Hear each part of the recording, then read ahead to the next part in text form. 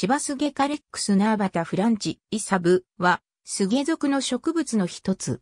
草原に生え、匍匐形を伸ばす、背の低い植物。草丈は、穂の長さが10から20センチメートル用はそれより低く、小柄な植物。地下に匍匐形を長く引き、植物体はそれぞれほぼ単独に数枚の葉を出し、間を開けて生じる。匍匐形は鱗片葉に包まれ、それは後に細かく裂ける。植物体基部の鞘は暗褐色で少しだけ繊維に分解する。葉は細長くて、幅2から3ミリメートル、円はざらつく。夏季は4から6月、コボは花茎の先端部に集まって生じる。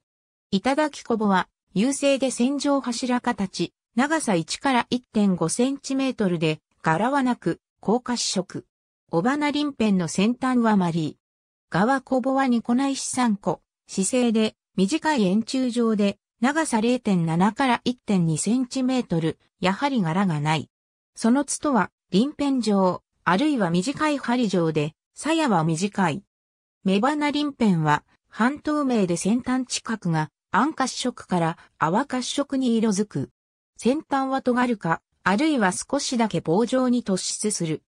下方は長さ2.5から2.8ミリメートルで、幅0.9から1.1ミリメートルで、目花鱗片よりやや長く、先端は急に短いくちばしになり、先端には小さな2葉がある。細かな毛が多く、脈が多数ある。果実は投卵型で、長さ1.5から2ミリメートル、先端に盤状の付属物がある。中東は三列する。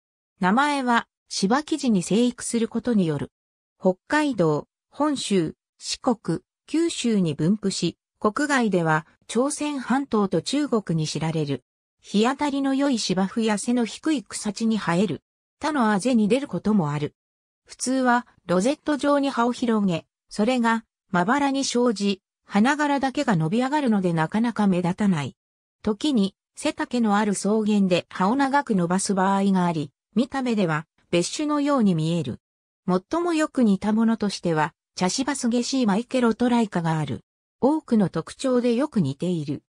違いとしては、下方がより大きいことと、目花鱗片が褐色に着色することが挙げられる。ただし分布域は本州中部以北であり、分布域に重複しない部分がある。他方で、本州中部のものでは、本種との差が小さくなり、判断が難しいとも。小型のスゲ類で似たものとしては、青スゲとその禁煙種群がある。それらは普通は匍匐形を伸ばさないし、伸ばす場合でもまとまった株を作る。また鱗片に着色がなく、目花鱗片に脱ぎがあるものが多い。以下、種として、星のほか、P374 勝山 P247。ありがとうございます。